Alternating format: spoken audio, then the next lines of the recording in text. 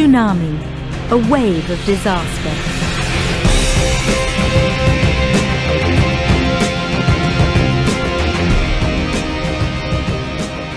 A tsunami is a large wave that travels at great speed towards land. They are usually caused by an undersea earthquake, but they can also happen after a large undersea landslide and an underwater volcanic eruption. When an undersea earthquake happens, the Earth's tectonic plates move suddenly downwards or upwards. This usually happens on a fault line and one plate slides below the neighbouring plate, causing a large amount of water to be forced upwards. This water forms a wave. Just like when you throw a pebble into a lake, the water ripples outwards.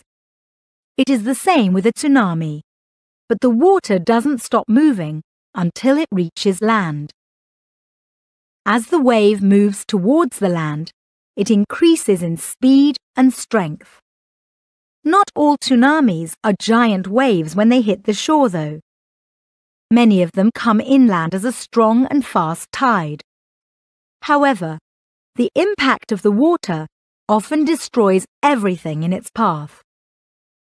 After the initial tsunami hits land, there are often other waves following it that can be just as big, which slowly get smaller over time the same as the ripples from the pebble mentioned before, but on a much larger scale.